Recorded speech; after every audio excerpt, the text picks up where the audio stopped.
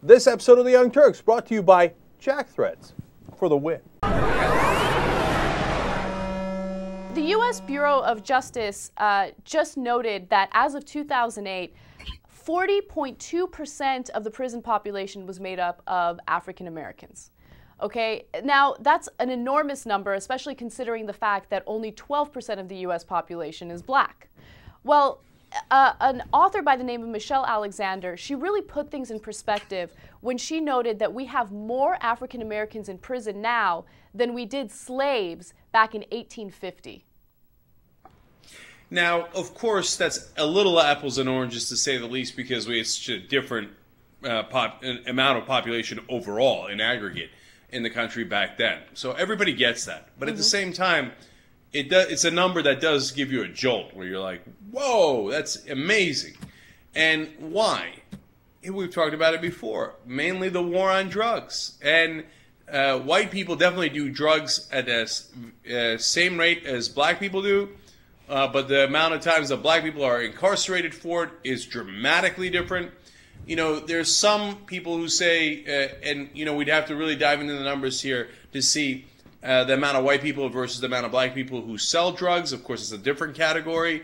Uh, but look, if you grow up in a suburb, you've got a lot of different options. You grow up in Baltimore, you grow up in a context where you're robbed of options except the one way to make easy cash. Why? Because we have a ridiculous drug war that makes it illegal and that then lures people into big profits, et cetera, et cetera. But there's a million reasons behind this. But the bottom line is the war on drugs has created an environment where we are imprisoning an insane number of black people. And to the point where you wonder if it's systematic and you wonder if it's on purpose. Yeah, uh, yeah, exactly. That I think that's the big question there. Is it systematic or is it on purpose? And I think a lot of people would argue that it's on purpose because as you noted, you know, study after study has indicated that both blacks and whites use drugs at the same rates. But police always target areas, urban areas that have a, a, larger black population. Why is it that more black people get arrested for the same thing that white people commit? same cri- crimes that white people commit, which, by the way, using drugs I don't consider a crime. Uh, another really interesting thing is the fact that um, crime rates overall are historically low right now. So why are more and more black people getting arrested? You know, if you really delve into the numbers, so from 2008 to 2009, violent crime was down 5.5% overall and almost 7% in big cities. In Detroit, for instance, with the auto industry uh, shedding workers, violent crime was down 2.4%. In Washington, D.C., murder was down 23.1%. Rape was down 19.4%. So across the board, you're seeing all of these crimes going down, but you see an increase of African Americans getting arrested for drug related offenses. And, you know, not only do I think that that's wrong because of the fact that you know they're blacks and we're targeting blacks but i think it's wrong because of the amount of money we're spending to keep these people in jail for drug related offenses so there's so many negative aspects of this I think it's a very legitimate issue to discuss this in terms of uh, is it targeting black people or not? Is it a black or a white issue? But you have to also consider the other aspect of this, which is financial. And it, it's and when you look at it, uh, for example, there's a guy in Montana that we talked about recently got pulled over for uh, passing his bong inside a car, which he shouldn't have done. But he faces a life sentence and a fifty thousand dollar fine.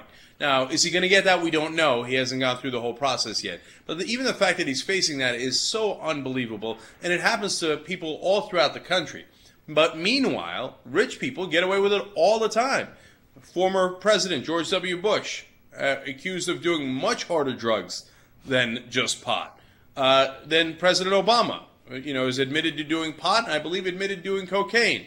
But they're rich, powerful in the establishment, so there are no consequences. Republican governor of Indiana, Mitch Daniels, just admitted he was caught with two or three shoe boxes full of pot and LSD. Uh, I believe, yeah, it was pot and LSD. And at the time, he paid a small fine. He was going to Princeton. See, kids going to Princeton, they don't, they don't get punished. You get caught with that same amount of uh, drugs in, you know, in the Bronx, and you're in a world of trouble.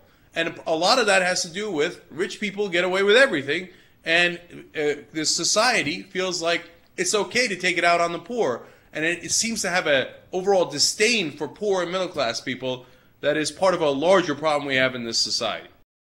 Jack Threads is a new sponsor for TYT. They're a members only online shopping club, but because you know us, you're going to get in. Aren't we cool?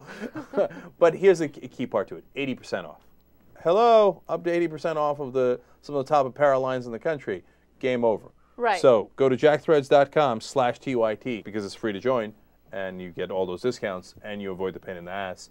The ending of this commercial is a little schwang wang wang.